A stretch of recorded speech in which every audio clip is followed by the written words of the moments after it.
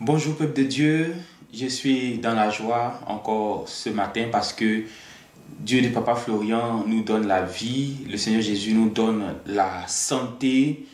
Progressivement, nous voyons la main puissante de Dieu.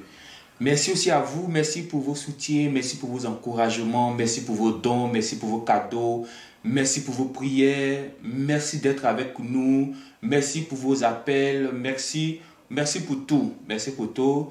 Soyez bénis encore, soyez bénis. Tous ceux qui ont eu une pensée positive pour nous, pour les serviteurs de Dieu, pour Papa Florian, nous vous bénissons et nous sommes une famille en Jésus-Christ. Que ce Dieu vous bénisse. J'ai un message aujourd'hui à vous partager de la part du Seigneur. J'ai tiré mon exhortation de ce jour dans le livre de Exode chapitre 19. Je vous permets de prendre Exode chapitre 19 et nous allons voir quelques versets verset 11, 12 et peut-être verset 13 aussi. Exode, le chapitre 19, verset 11. Voici ce que la Bible dit. Là, ici, nous nous situons après la sortie d'Égypte. Le peuple d'Israël, après sa sortie d'Égypte. Ils sont allés, ils sont avec Moïse, ils sont en train de camper dans le désert. Objectif, c'est atteindre la terre promise. Mais il y a quelque chose qui s'est passé ici. La Bible dit au verset 11, qu'il soit prêt pour le troisième jour. Car le troisième jour, l'Éternel descendra aux yeux de tout le peuple sur la montagne de Sinaï. Tu fixeras au peuple des limites tout alentour. Et tu diras, voici le verset 12 là qui m'intéresse même, tu diras, gardez-vous de monter sur la montagne ou d'en toucher le bord. Quiconque touchera la montagne sera puni de mort. On ne mettra pas la main sur lui, mais on le lapidera ou on le percera de flèches. Animal ou homme, il ne vivra point. Je vais m'arrêter là. Que Dieu bénisse sa parole. Que le Seigneur bénisse sa parole. Qui nous donne la compréhension. Qui nous donne la force de marcher au travers de ce que nous allons entendre aujourd'hui. Voici le prophète de Dieu, Moïse. Dieu se révèle à lui. Dieu lui dit, je viens à votre rencontre je viens à votre rencontre. Je vais descendre aujourd'hui sur une montagne qui était la montagne de Sinaï. Il dit, je vais descendre sur la montagne. Je vais te parler aux yeux de tous. Mais cette montagne sur laquelle je vais descendre là, personne ne doit toucher cette montagne à part toi, personne ne doit monter sur cette montagne. Donc sur la montagne, on ne devrait pas monter, eux, on ne doit pas aussi la toucher. Pourquoi? Parce que Dieu allait descendre sur la montagne. C'est, j'ai dit, j'ai dit, waouh, Dieu va descendre sur la montagne. Et pour cela, vous ne devez pas toucher la montagne. Tu ne dois pas monter. Si tu montes, tu mourras. Il dit, animal comme homme, il faut mourir. Qui que tu sois, si tu montes sur ces montagnes où Dieu va descendre pour parler à son serviteur. Donc il a dit à Moïse de, de fixer des limites pour qu'au moins ils vont entendre, mais ils ne doivent pas monter. Peut-être qu'ils vont voir, mais ils ne doivent pas monter et ils ne doivent pas toucher. Donc la limite là, attention, quand j'ai lu ce test, je suis revenu encore dessus. J'ai dit, waouh, qu'est-ce qui se passe là? Donc, c'est-à-dire que l'endroit où Dieu se met, l'endroit où Dieu descend, tant qu'il ne vous a pas assigné tant qu'il ne vous a pas donné l'autorisation. Si tu t'amuses, tu prends les pots cassés. C'est ce que j'ai compris avec Moïse sur la montagne de Sinaï. Alors qu'aujourd'hui, à l'heure où je vous parle, ce Dieu-là, il continue de descendre. Oui, il ne nous a pas abandonnés, il continue de descendre. Mais cette fois-ci, il ne descend plus sur une montagne, il ne descend plus dans des tentes, il ne descend plus dans des bâtiments faits de main d'homme, mais où il descend maintenant, quand vous allez lire Acte chapitre 2, vous allez voir que c'est dans le croyant qu'il décide maintenant de descendre. En toi et en moi. La Bible dit, ne savez-vous pas que votre corps est le temple du Saint-Esprit? En accueilli cet esprit dit Dieu.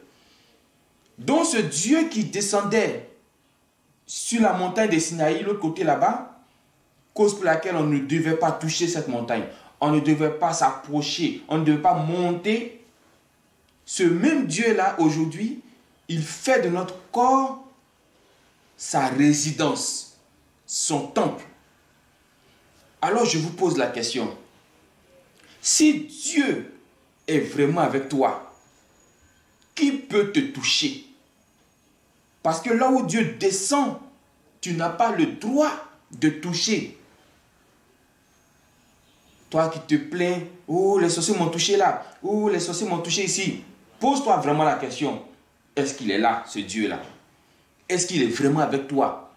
Parce que je vois une montagne. Entends, nous, nous sommes plus importants que la montagne. La montagne, c'est un tas, c'est une masse de sable. La montagne et nous, nous sommes plus importants. Nous avons été créés à l'image de Dieu. La montagne n'a pas été créée à l'image de Dieu. Mais si un matériel, on ne doit pas le toucher parce que Dieu est descendu là.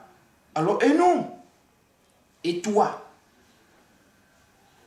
Mon frère, ma soeur, j'ai compris au travers de ce test que si Dieu habite vraiment nous, on ne peut pas nous toucher.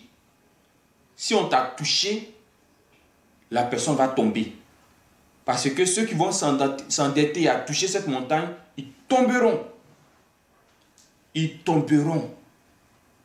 Si on t'a touché, je pense que soit Dieu a peut-être donné permission, comme il a fait pour Job, mais tout le monde peut pas Job sur la terre.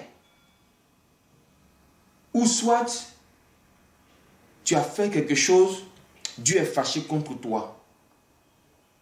Et tu as besoin de te réconcilier avec lui, simplement. Sinon, ce qu'on veut lui, c'est extraordinaire.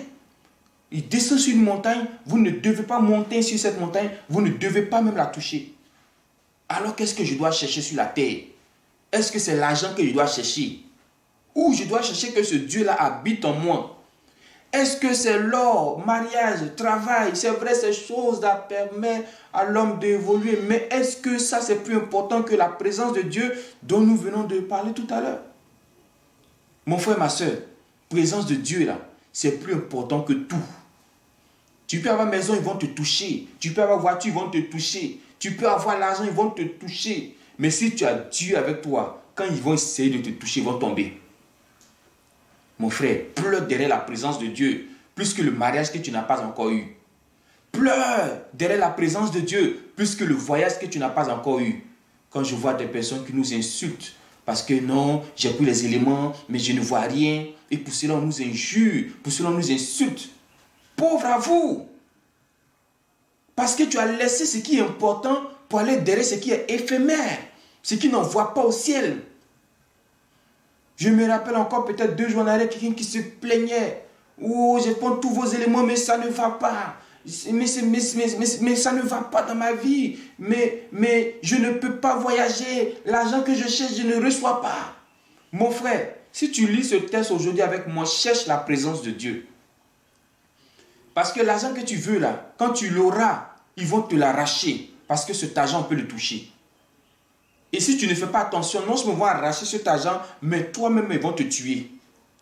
Alors que si tu as la présence de ce Dieu puissant qui est descendu sur la montagne de Sinaï, mais aujourd'hui qui ne décide plus de descendre sur la montagne, mais qui décide d'habiter notre corps, tu es protégé.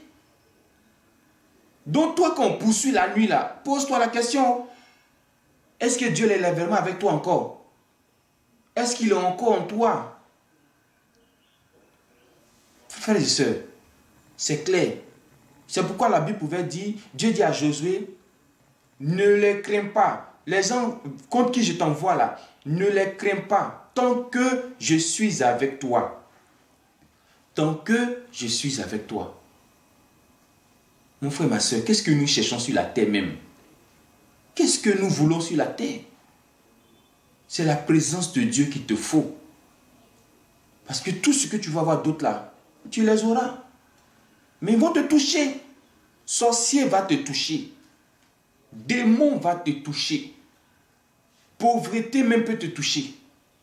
Mais si tu as ce Dieu-là, de Exode chapitre 19, verset 11, s'il est en toi, il dit, quiconque touchera, mourra. Mon frère, ma soeur, il faut chercher ce qui est essentiel pour toi. Il faut chercher ce qui est important.